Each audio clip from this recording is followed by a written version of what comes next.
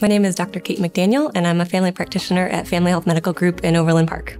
I chose family medicine because we see a wide variety of patients. So I see patients from newborn to geriatric, and we see anything from wellness visits to chronic disease management and pretty much everything in between. I do have a special interest in women's health, so I do have a lot of women that establish with me, and that's one of my passions.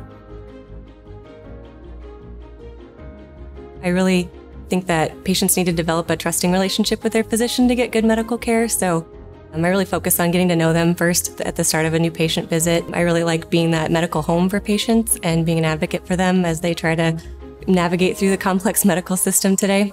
So I really like having that relationship with patients, and um, I think it's really good that we can bring it all back to primary care.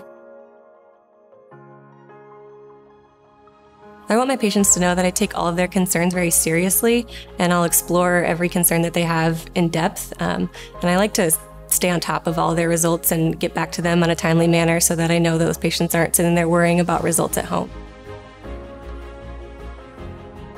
I think family medicine is a wonderful specialty because we have the opportunity to develop relationships with our patients over time.